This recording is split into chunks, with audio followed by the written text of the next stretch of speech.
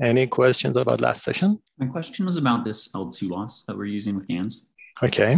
Um, I know in general, like in other optimization scenarios, we use L2 loss often to like relax a problem and then make the um, optimization process simpler. Is that really the only objective here, or is it is it leading to um, like different quality solutions? Uh, so we went through the math last session, and we saw that if you do the least squares loss, you're gonna get another measure of the distance between two distributions. I guess uh, I guess it was here. Yeah. You're gonna get Pearson chi-square divergence. Okay. So I would say this makes as much sense as the gener- the original generative adversarial neural network's objective function.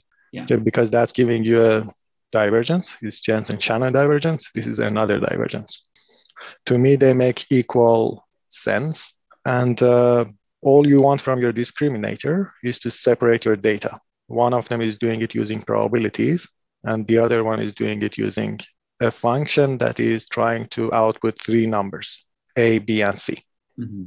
And at the same time, you're getting rid of the uh, sigmoid function. Maybe that is causing some trouble. It's causing these uh, mode collapse problems.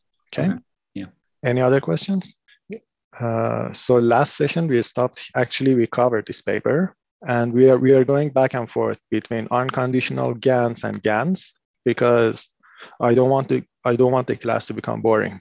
If you go if you do all the time unconditional, then you're not going to see applications. You're just going to see some methodology, some changes in the loss function without knowing what the applications are. So let's still go back and forth. Now we are going to do unconditional, Wasserstein GAN. We covered most of it last session. So I'm going to go through that really quick. So classically, if you want to learn the underlying distribution of some data, and you're if and if you're a classical statistician, what you would do is you would put a parametric family of densities. So you're gonna say, I'm gonna work with normal distributions, or I'm gonna work with exponential family of distributions, etc. And they're gonna be parameterized. Now, because you know the functional form of your distribution, you're gonna have a likelihood. So you're gonna know the form of P of theta. For instance, it is normal, and therefore you can write down your likelihood and maximize it. But then this is limited because you're gonna be able to work with only simple distributions.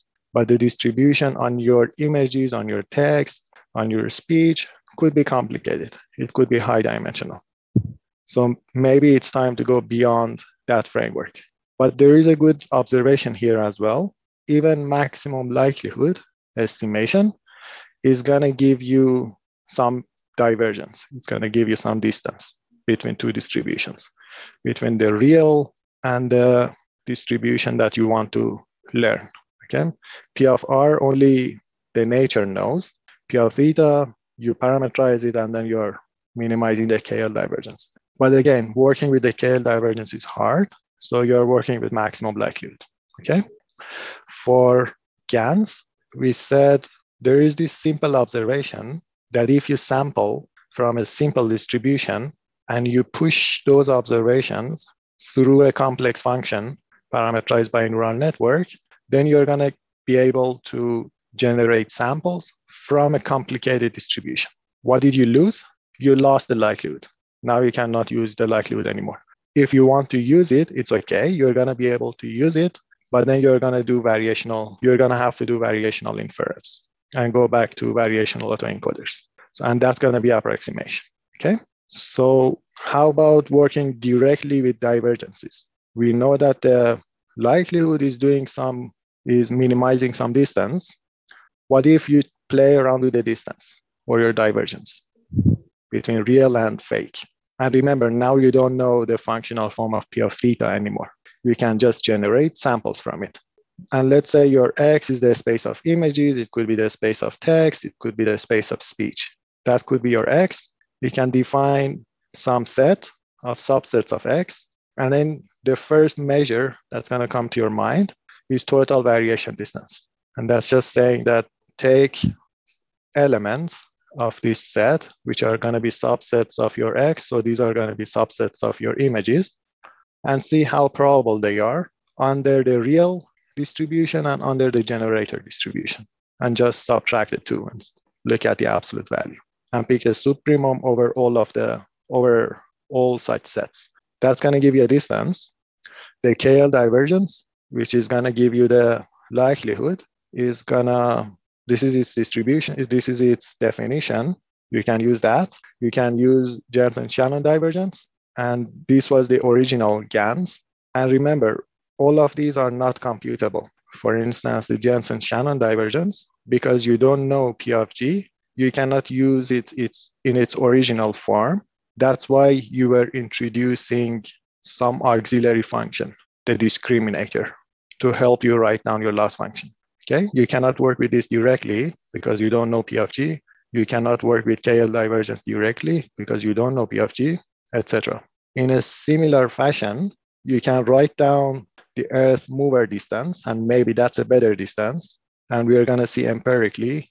And the paper goes through some math, which I'm not going to go through here, trying to justify why Earth mover distance is a good distance.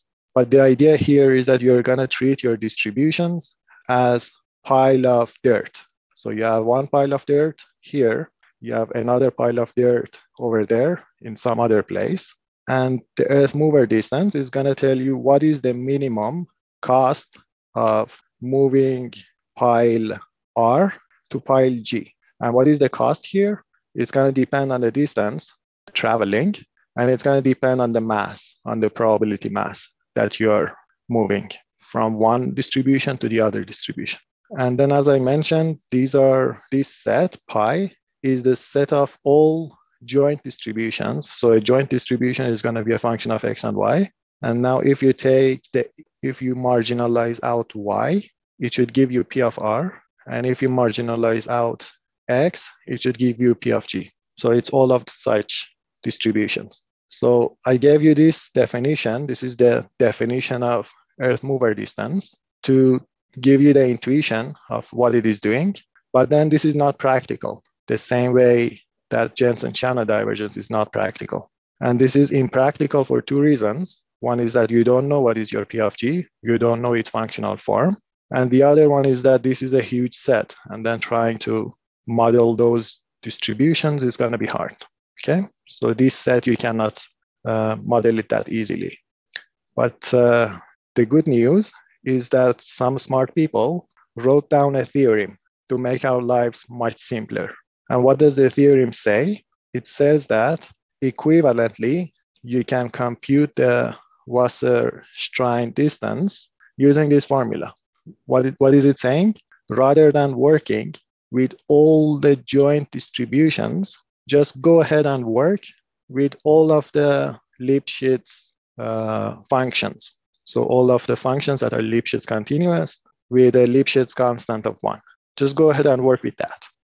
So rather than working with that, you're gonna work with here. The infimum is gonna turn into a supremum. And now uh, you can see that you had a similar behavior when you were doing the original GAN. Over there, you had a classifier here. Now here F could be your critic. And now this is going to be your objective. You're going to sample from the real distribution, push them through a, function. It doesn't have to be a probability function. It doesn't have to give you as output probabilities. It's just a function. And uh, that's for real samples. And that's for the generated samples. These are samples that are being generated by the generator. So the generator is going to go inside here. It turns out that it's a good idea whenever you see a function to approximate it with a neural network. So we are going to approximate f by a neural network. So it's going to be parameterized, and you're maximizing this because you have a supremum there. But there is a catch. If you use the family of neural networks here, it's very hard to enforce the Lipschitz continuity. So we are going to work in a couple of other future papers on how to satisfy the Lipschitz continuity. But this paper had a heuristic for doing that. It says that if you clamp your weights to a fixed box, then you're gonna manage to at least make your F Lipschitz continuous with some constant. It's not going to be one, it's going to be some constant, which doesn't really matter. So if you clamp your weights to a fixed box, it means that you're doing, uh, if your weight during training is exiting that box, you're gonna force it to be inside that box. You're gonna cut it. Okay. Any questions so far? Okay, perfect. It turns out that this uh, this definition or this equality and the way that you are using Wasserstein distance actually belongs to a bigger family. It belongs to the family of integral probability metrics, IPMs. Why is that? The integral probability metrics are of this form, are exactly the form that you have up there, but then you have a different family here. It doesn't have to be the Lipschitz continuous, it could be any other family. So now we are gonna work with that. We're gonna work with the with this definition of the Wasserstein distance. Why is it helpful? You can work with DC GAN. And now the cool thing is that during training, you have an objective function that is going down, which is great. You're gonna see the performance of your method. And then you can see that the image quality at different locations during training is getting better and better. So this Wasserstein uh, estimate is highly correlated with the quality of the images that you're going to see. This is unlike the original objective function. So for the original objective function, these are just going to go up and down, up and down during training. And you're not going to know, are you making progress? Are you not making progress? What is happening? So you have to wait until the end of the training and see how good the generated images are. Okay, so it's very hard to interpret those results. What else? why, at least intuitively, there is a heavy math in the paper that I don't want to go through. But uh, what is the, at least the intuition of why things are working? Let's say you have a one dimensional distribution for your generated examples. So this is your real density actually. So these are your real examples. And these are the generated examples generated by the generator. So let's say this is what is happening. And these two distributions are far apart from each other. What does it mean? It means that if you have a classifier, it's going to associate a probability of one to this part of the domain, and it's going to associate a probability of zero to that part of the domain because these are fake, these are real, and you have a very good discriminator. Now, what's going to happen? This is just a constant. The derivative of a constant is zero. It means that your generator is not going to get updated okay, you're, you're never going to see its parameters, or they're going to be very close to zero. So your gradients are vanishing. What happens with this new objective function? This is uh, the function f that you have here. That one was the function d, the discriminator. This is the critic. And you can see that you're going to have gradients all the time.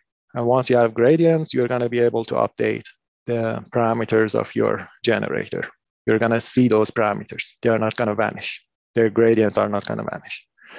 Okay, is everything clear? I have, I think, a couple questions. Um, so in this case, FW, like we're replacing our discriminator with this critic, which is F sub W? Exactly, yes.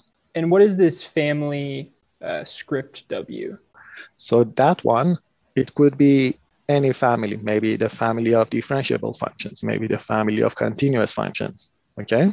A particular form is the family of Lipschitz continuous functions. And you model that family as a neural network. And you model that family, the members of that family as a neural network, parameterized by omega in this case. Okay? Okay. Yeah, that makes sense. Thanks. Okay. Any other questions? So this this graph of the um, the almost linear f is just the realization of one such neural network. It's giving us that linear function, or it's not quite linear, but pseudo linear. Yes. So during training, this is the type of networks that you're going to see. That you're going to learn. So about. this is a realization of f. Okay. For a particular parameter. Yes. Okay. But then for most of them, you're going to have a similar shape. And then it means that there is learning going on. Yeah. Okay. It's not like here that it's zero or it's a constant. Okay, any other questions? Okay, perfect. So we saw a couple of examples for distances. One is KL divergence, one is total variation. The other one was Jensen-Shannon divergence. And for uh, and we also saw Pearson chi-squared distance when you were doing least squares GAN.